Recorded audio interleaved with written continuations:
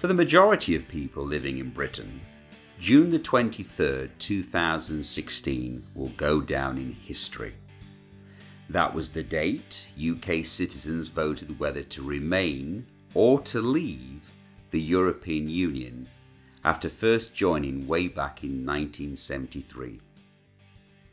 51.9% chose to leave.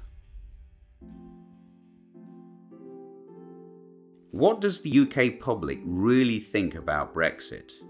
Brexit, I think, is an identity question. It's whether we want to be part of a wider European community or whether we want to be uh, an island nation on our own.